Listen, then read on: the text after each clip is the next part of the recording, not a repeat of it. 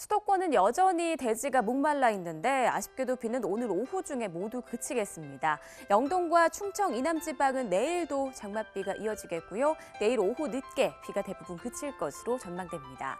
앞으로 서울을 비롯한 중서부에는 5mm 안팎의 적은 비가 더 내리다 그치겠고 남부 지방에는 최고 60mm의 제법 많은 비가 더 내리겠습니다. 내일 대부분 지방 오후 늦게면 날이 개겠는데요. 종일 흐린 날씨가 이어지는 수도권과 제주도는 낮 동안 다소 덥겠습니다. 내일 서울 기온 29도로 예상되고요. 원주도 29도, 대전은 27도로 예상됩니다.